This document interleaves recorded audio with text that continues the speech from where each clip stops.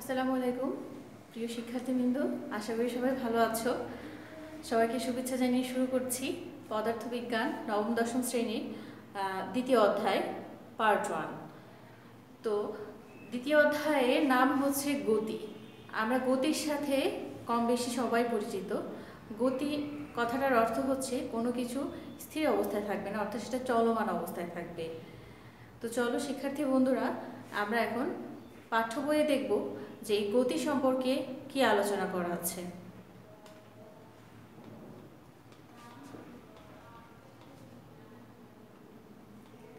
দেখো, আমাদের চারপাশে অনেক ধরনের গতি রয়েছে। একজন যখন সাইকেল চালিয়ে যায়, সেটি এক ধরনের গতি। একজন যখন যখন একটি গাড়ি যায়, সেটিও এক ধরনের গতি। যখন প্লেন উড়ে যায়, সেটিও গতি। পৃথিবী যখন সূর্যের চারদিকে ঘুরে, সেটিও একটি গতি। ঝুলন্ত একটি বাতি যখন দুলতে থাকে, সেটিও গতি। রাইফেল থেকে যখন বুলেট বের হয়, সেটিও গতি। আপাত দৃষ্টিতে মনে হয় এই নানা ধরনের গতি বুঝি সব ভিন্ন ভিন্ন ধরনের গতি। কিন্তু তোমরা জেনে খুবই অবাক এবং খুশি হবে যে, একবারে অল্প কয়েকটি রাশি দিয়ে এই সবগুলোকে ব্যাখ্যা করা সম্ভব।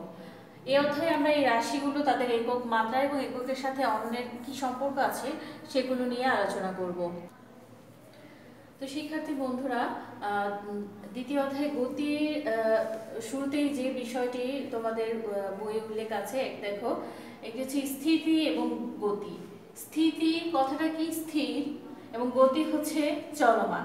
যদি আমরা এই শাব্দিক অর্থ খুঁজতে যাই তাহলে এটাই পাবো। আমাদের চারপাশে যা কিছু আছে তার মাঝে কোনটি স্থির বা স্থিতিশীল এবং কোনটি চলমান বা গতিশীল, সেটি বুঝতে আমাদের কখনো অসুবিধা হয় না। আমাদের চোখ দিয়ে আমরা এমনভাবে দেখি যে কোনো কিছু একটুখানি একটুখানি নড়লেই আমরা চট করে সেটা ধরে ফেলতে পারি। কাজে স্থিতি বা গতি বলতে কী বোঝায় সেটি আমরা খুব চমৎকারভাবে অনুভব করতে পারি। কিন্তু পদার্থবিজ্ঞানের জন্য শুধু অনুভব করাই যথেষ্ট নয়, সেটাকে ভালোভাবে সংজ্ঞায়িত করতে হয়।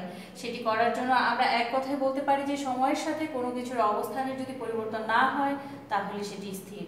অর্থাৎ দেখো তোমরা একটু লক্ষ্য করে যে সময়ের সাথে কোনো কিছুর অবস্থানের যদি পরিবর্তন না হয়, বস্তুর অবস্থানের সাথে সময়টাও কিন্তু এখানে আছে। আর যদি অবস্থানের পরিবর্তন হয়, তাহলে সেটি গতিশীল। তাহলে স্থির অবস্থা কোনটি? সময়ের সাথে কোনো কিছুর অবস্থানের যদি পরিবর্তন না হয়, তাহলে সেটাকে আমরা স্থির অবস্থা বলব। আর যদি অবস্থানের পরিবর্তন হয়, তাহলে সেটিকে আমরা গতিশীল অবস্থা বলব। এখন আমাদের অবস্থান শব্দটি ভালো করে ব্যাখ্যা করা দরকার। আমাদের দৈনন্দিন কথাবার্তায় নানাভাবে অবস্থান শব্দটি ব্যবহার করলেও পদার্থবিজ্ঞানের ভাষায় অবস্থান শব্দটির একটি সুনির্দিষ্ট অর্থ রয়েছে। যেমন তোমাকে যদি জিজ্ঞেস করা হয়, তোমার স্কুলে, তোমার স্কুলের অবস্থান কোথায়? এবং তুমি যদি উত্তর দাও ঝিলটুলিতে মানে একটা জায়গার নাম, তাহলে উত্তরটি সঠিক হলেও স্কুলটির অবস্থানটি কিন্তু জানা গেল না। অর্থাৎ দেখো যে যদি তুমি শুধু জায়গার নাম বলো, তাহলে স্কুলের অবস্থানটা কিন্তু সেটা সঠিক বলে বিবেচিত হবে না। আর যদি তুমি উত্তর দাও তোমার স্কুলটি তোমার বাসার গেট থেকে এক কিলোমিটার দূরে, তাহলেও কিন্তু স্কুলের অবস্থান জানা গেল না। অর্থাৎ তুমি যদি দূরত্বটা বলো, তাহলে সেটাতেও কিন্তু স্কুলের অবস্থানটা আমরা সঠিকভাবে জানতে পারব না। তোমরা তোমার বাসার গেটটি কোথায় সেটি আমাদের জানা থাকলেও আমরা বলতে পারব না স্কুলটি সেখান থেকে ঠিক কোন দিকে এক কিলোমিটার দূরে। কিন্তু তুমি যদি বলো স্কুলটি তোমার বাসার গেট থেকে পূর্ব দিকে এক কিলোমিটার দূরে, তাহলেই শুধু আমরা শুধু আমরা সুনির্দিষ্টভাবে তোমার স্কুলের অবস্থানটি জানতে পারব। অর্থাৎ স্কুলের অবস্থান জানার জন্য দূরত্ব এবং দিক দুটি নির্দিষ্টভাবে জানতে হয়। দেখো, স্কুলের অবস্থান জানার জন্য কিন্তু এখানে দূরত্ব এবং দিক। অর্থাৎ সুনির্দিষ্ট দূরত্বও লাগবে, সুনির্দিষ্ট দিকও এখানে জানতে হবে। শুধু তাই নয়, সেই দূরত্ব এবং দিকটি নির্দেশ করতে হয় একটি নির্দিষ্ট বিন্দু বা প্রসঙ্গ বিন্দুর অবস্থান থেকে। অর্থাৎ তুমি যদি তোমার স্কুলের বেলায় চিন্তা করতে যাও, তাহলে স্কুলটির অবস্থান কোথায় তোমার বাসা থেকে? তাহলে বাসার গেটটাকে তুমি সুনির্দিষ্ট ধরলে স্কুলের গেট পর্যন্ত দিক এবং দূরত্ব দুইটাই তোমাকে নির্ণয় করতে হবে। তোমার স্কুলের বেলায় প্রসঙ্গ বিন্দু ছিল তোমার বাসার গেট সেটি তোমার বাসার গেট না হয়ে একটা বাস স্টপ কিংবা একটা শপিং মল হতে পারতো। তাহলে অবশ্যই দূরত্ব এবং দিকটির ভিন্ন মান হতো কিন্তু অবস্থানটি অবশ্যই এই নতুন প্রসঙ্গ বিন্দুর সাপেক্ষে বলে দিতে পারতাম। অর্থাৎ কোনো কিছুর অবস্থান বলতে সেটি অবস্থান বলতে হলে সেটি বলতে হয় কোনো একটি প্রসঙ্গ বিন্দুর সাপেক্ষে। অর্থাৎ তুমি যদি কোনো বস্তুর অবস্থান বলতে চাও, তাহলে কোনো না কোনো প্রসঙ্গ বিন্দুর সাপেক্ষে কিন্তু তার অবস্থান তোমাকে বলতে হবে। এই প্রসঙ্গ বিন্দুটি চূড়ান্ত কোনো বিষয় নয়। আমরা আমাদের সুবিধা অনুযায়ী যে কোনো বিন্দুকে প্রসঙ্গ বিন্দু বা মূল বিন্দু হিসেবে ধরতে পারি। এখন প্রশ্ন হচ্ছে, অবস্থান নির্দিষ্ট করার জন্য আমাদের যে প্রসঙ্গ বিন্দু বা মূল বিন্দু ধরে নিতে হয়, সেই বিন্দুটি কি স্থির? একটি বিন্দু হওয়া প্রয়োজন? ধরা যাক তোমার সামনে আরেকজন চেয়ার স্থির হয়ে বসে আছে। তোমার চেয়ারটাকে যদি প্রসঙ্গ বা মূলবিন্দু ধরে নিই, তাহলে নিশ্চিতভাবে বলা যেতে পারে তোমার বন্ধুর অবস্থানের কোনো পরিবর্তন হচ্ছে না। অর্থাৎ তুমি তোমার বন্ধু মুখোমুখি বসে আছো, বিষয়টা যদি এমন হয় এবং তোমার বন্ধু যদি তোমার চেয়ার তোমার সামনে যদি চেয়ারে স্থির অবস্থায় থাকে এবং তুমি যদি স্থির অবস্থায় থাকো, তাহলে তোমার সাপেক্ষেও কিন্তু তোমার বন্ধু স্থির অবস্থায় থাকবে। কিন্তু যদি এমন হয়, তোমরা তোমরা আস তোমরা আসলে চলন্ত একটি ট্রেনে বসে আছো, তাহলে কি হবে? ট্রেনের বাইরে স্টেশনে দাঁড়িয়ে থাকা একজন মানুষ বলবে, তুমি কিংবা তোমার বন্ধু দুজনই গতিশীল। কেউ স্থির নয়। তাহলে কার কথাটি সত্যি? তোমার নাকি স্টেশনে দাঁড়িয়ে থাকা মানুষটির? আসলে তোমার কিংবা স্টেশনে দাঁড়িয়ে থাকা মানুষটি দুজনের কথাই সত্যি। কেন সত্যি? কারণ তুমি যদি তোমার সাপেক্ষে চিন্তা করো, তাহলে কিন্তু তুমি আর তোমার বন্ধু কিন্তু স্থির। স্থির আর ট্রেনটি কিন্তু গতিশীল। এবং স্টেশনে যে দাঁড়িয়ে আছে, তার সাপেক্ষে কিন্তু ট্রেনটি গতিশীল। এই জন্য তুমি বা তোমার বন্ধু কিন্তু গতিশীল। আসলে তোমার কিংবা স্টেশনে দাঁড়িয়ে থাকা মানুষটি দুজনের কথাই সত্যি। তার কারণ হচ্ছে কি মূল বিন্দু বা প্রসঙ্গ বিন্দু যদি সমবেগে চলতে থাকে। মূল বিন্দু বা প্রসঙ্গ বিন্দু মানে যেটাকে হচ্ছে মানে নির্দিষ্ট হিসেবে ধরা হয় যে এটার সাপেক্ষে আমরা কোনো কিছুর অবস্থা নির্ণয় করব সেক্ষেত্রে, তাহলে আমরা কখনোই জোর দিয়ে বলতে পারব না যে প্রসঙ্গ বিন্দুটি কি সমবেগে চলছে নাকি এটা আসলে স্থির। এবং অন্য সব কিছু উল্টো দিকে সমবেগে চলছে। কাজেই আমরা বলতে পারি, যদি কোনো একটি মূল বিন্দুর সাপেক্ষে কোনো বস্তুর অবস্থানের পরিবর্তন হয়, তাহলে সেই বস্তুটি ওই বিন্দুর সাপেক্ষে গতিশীল। আবার একটু লক্ষ্য করো যে যদি কোনো একটি মূলবিন্দুর সাপেক্ষে কোনো বস্তুর অবস্থানের পরিবর্তন হয়, যে কোনো একটা নির্দিষ্ট মূলবিন্দু থাকবে এবং তার সাপেক্ষে বস্তুর অবস্থানের পরিবর্তন হবে, তবে সেই বস্তুটি ওই বিন্দুর সাপেক্ষে গতিশীল। মূল বিন্দুটি কি আসলে স্থির নাকি সমবেগে চলছে সেটি নিয়ে আমরা মাথা ঘামাবো না। সেটি গুরুত্বপূর্ণ নয়, তার কারণ হচ্ছে সব গতি হচ্ছে আপেক্ষিক। এখন সব গতি কেন আপেক্ষিক কীভাবে আপেক্ষিক তোমাদের বলা হবে? শুধু তাই নয়, আমরা যদি সত্যিকার স্থির কোনো একটি প্রসঙ্গ বিন্দু খুঁজে বেড়াই, তাহলে বিপদে পড়ে যাব। পৃথিবী পৃষ্ঠে কোনো কিছুকে মূল বিন্দু ধরে নিলে একজন আপত্তি করে বলতে পারে, পৃথিবী তো স্থির নয়, সেটা তো নিজের অক্ষের উপরে ঘুরছে কাজে পৃথিবী পৃষ্ঠে সব কিছুই ঘুরছে, তাহলে সেই সাপেক্ষে কিন্তু পৃথিবী ঘূর্ণনশীল। আমরা বুদ্ধি করে বলতে পারি পৃথিবীর কেন্দ্র হচ্ছে মূল বিন্দু। যখন আরেকজন আপত্তি করে আপত্তি করে বলতে পারে যে সে যে সেটি স্থির নয়, সেটি সূর্যের চারদিকে ঘুরছে। আমরা তখন আরও বুদ্ধি খরচ করে বলতে পারি যে সূর্যের কেন্দ্রবিন্দুটি হোক মূল বিন্দু। তখন অন্য কেউ আপত্তি করে বলতেই পারে যে সূর্যও তো স্থির। নয়, সেটা তো আমাদের গ্যালাক্সির বাংলা বাংলা নামটি যেটা ছায়াপথ, ইংরেজিতে মিল্কি ওয়ে, কেন্দ্রকে ঘিরে ঘুরছে বুঝতেই পারছ, তখন কেউ আর সাহস করে গ্যালাক্সির কেন্দ্রকে মূলবিন্দু বলবে না। গ্যালাক্সি বিশ্ব ব্রহ্মাণ্ড থেকে স্থিরকে স্থিরকে বলেছে। শুধু তাই নয় গ্যালাক্সির কেন্দ্র কেন্দ্রবিন্দুকে মূলবিন্দু ধরা হলে পৃথিবী পৃষ্ঠের একটা অবস্থান বর্ণনা করতে আমরা কি পরিমাণ জটিলতায় পড়ে যাব, কেউ চিন্তাও যাব কেউ চিন্তা করেছ? আসলে এত জটিলতার কোনো প্রয়োজন নেই আমাদের কাজ চালানোর জন্য। আমাদের কাছে স্থির মনে হয় এরকম যে কোনো বিন্দুকে মূল বিন্দু ধরে সব কাজ করে ফেলতে পারব, শুধু বলে দিতে হবে সব মাপযোগ এই মূল বিন্দুর সাপেক্ষে করা হয়েছে। বিজ্ঞানীরা এভাবে এভাবে পরমাণুর ভিতরে নিউক্লিয়াস থেকে শুরু করে মহাকাশে পাঠানো, উপগ্রহ সব কিছুর মাপযোগ করে ফেলতে পারেন।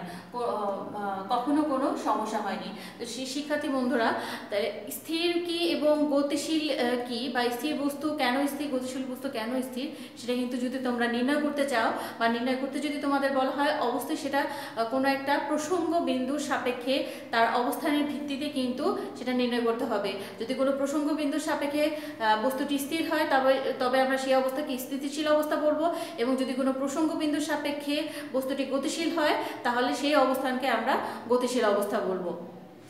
এরপরে যে বিষয়টি আছে, বিভিন্ন প্রকার গতি। আমরা আমাদের চারপাশে অনেক রকম গতি দেখতে পাই। কোনো কিছু নড়ছে, কোনো কিছু কাঁপছে, কোনো কিছু ঘুরছে, কোনো কিছু সরে যাচ্ছে। এই সবই হচ্ছে নানা রকম গতির উদাহরণ। সম্ভাব্য গতির কোনো শেষ নেই, কিন্তু আমরা ইচ্ছে করলে কিছু কিছু গুরুত্বপূর্ণ গতির কথা আলাদা করে বলতে পারি। অর্থাৎ এই এই সমগ্র এই এই বিশ্বে যে গতি সমূহ লক্ষ্য করা যায়, সেই গতিগুলোকে পদার্থবিজ্ঞানীগণ বিভিন্ন গতি হিসেবে নাম দিয়েছে। আমাদের বইয়ে যে গতিগুলো নিয়ে আলোচনা করেছে চলো আমরা এখন সেগুলো দেখে আসি। প্রথমে যে গতিটার কথা বলেছে সরল রৈখিক গতি। দেখো সরল রৈখিক গতি কথাটার সাথে কিন্তু কেমন যেন একটা সরল রেখা টাইপের মিল আছে। অর্থাৎ, বস্তুটি কোনো নির্দিষ্ট বিন্দুর সাপেক্ষে গতিশীল হবে, কিন্তু শর্তটা কি দিয়েছে? সরলরৈখিক। অর্থাৎ সরল রেখা বরাবর বস্তুটি গতিশীল হবে। তাহলে এই ধরনের গতিকে আমরা সরলরৈখিক গতি বলতে পারি।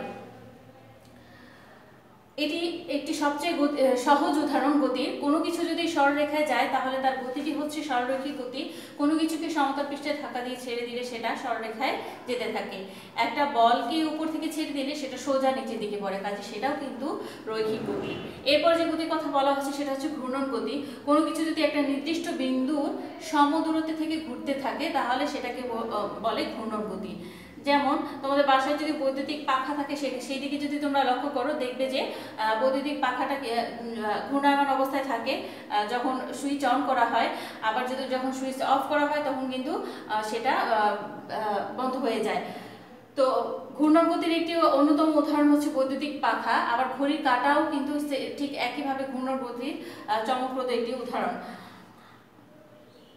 আরেকটি হচ্ছে এর গুরুত্বপূর্ণ উদাহরণ হচ্ছে, দেখো, আকাশের চাঁদ। চাঁদকে চাঁদকে কোনো কিছু দিয়ে পৃথিবীর সাথে বেঁধে রাখা নেই, তবুও এটা পৃথিবীকে ঘিরে ঘুরছে। শুধু তাই নয়, এটা টুক করে পৃথিবীতে পড়েও যাচ্ছে না। তার মানে চন্দ্র যে পৃথিবীকে প্রদক্ষিণ করে একটা নির্দিষ্ট সময় পরপর ঘুরছে, এটাও কিন্তু এক ধরনের ঘূর্ণন গতি চলন গতি কোনো কিছু যদি এমনভাবে চলতে থাকে যেন বস্তু সকল কোণা একই সময় একই দিকে যেতে যেতে থাকে, তাহলে সেটা হচ্ছে চলন গতি আমরা আমাদের চারপাশে মাঝে মাঝে এরকম অনেক গতির উদাহরণ দেখতে পাই। যেমন স্বাভাবিকভাবে যদি আমরা বলি যে যখন কোনো কিছু সোজা, অর্থাৎ রৈখিক গতিতে যায়, তখন কিন্তু তার উদাহরণ দেখা খুব সহজ হয়।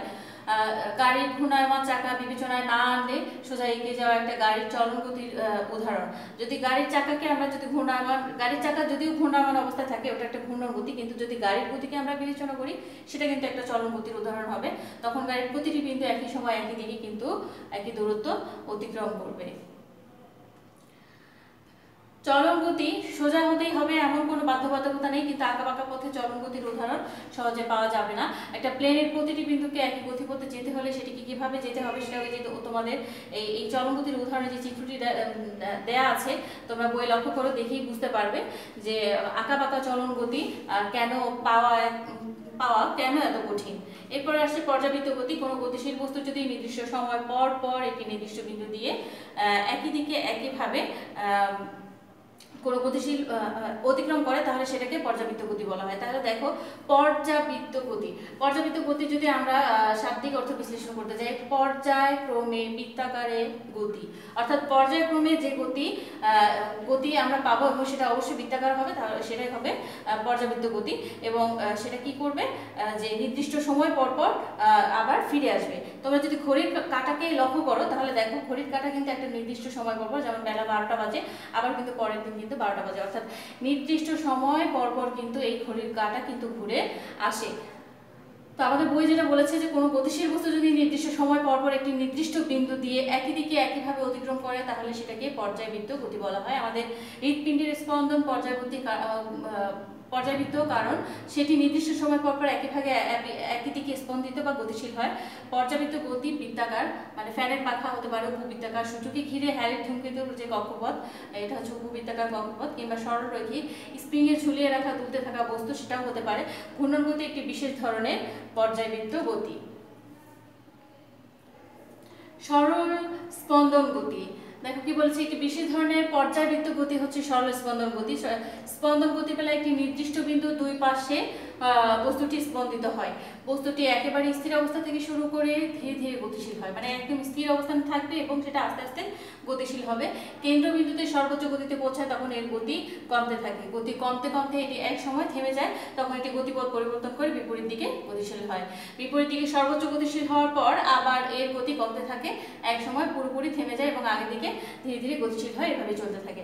এখন কথা হচ্ছে যে এই স্পন্দিত বা সরল স্পন্দন গতিটা আসলে কি? দেখো তোমাদের বাড়িতে হচ্ছে দোলনা আছে, যদি তোমরা দেখে থাকো। দোলনাটা কি কি করে? যখন তুমি দোলনায় বসবে, যখন চড়বে, ধাক্কা দিবে, তখন দেখবে যে একটু সামনে যাবে, আবার কিছুক্ষণ পর পিছনে যাবে। অর্থাৎ একটা সময় পর পর সামনে যাচ্ছে, একটা সময় সময় পর পর পিছনে যাচ্ছে। তো এটা কিন্তু এক ধরনের হচ্ছে বলা যেতে পারে যে সরল ছন্দিত স্পন্দন মানে সামনে যাচ্ছে, পিছনে আসছে।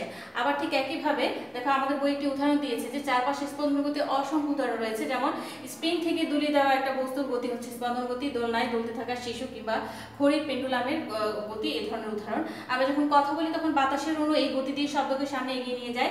আমরা এতক্ষণ বিশেষ কয়েক ধরনের গতির কথা বলেছি, কিন্তু এই গতিগুলো গতিগুলোর কারণটি কোথাও বলিনি।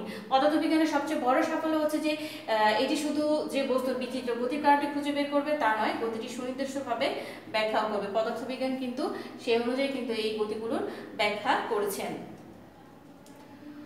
তো শিক্ষার্থী বন্ধুরা আশা করি তোমরা এই বিভিন্ন প্রকার গতির সাথে পরিচিত হয়েছে এবং দৈনন্দিন জীবনে তোমরা যখন চলবে বা চলার পথে কিন্তু এই গতিগুলোকে বিভিন্ন ক্ষেত্রে দেখতে পাবে এবং অনুভব করতে পাবে আশা করি এই সম্পর্কে তোমরা পুরোপুরি ধারণা নিয়েছো। তো শিক্ষার্থী বন্ধুরা বন্ধুরা, আজকে এই পর্যন্তই। পরবর্তী ক্লাসে আমরা এর পরবর্তী থেকে আলোচনা করব।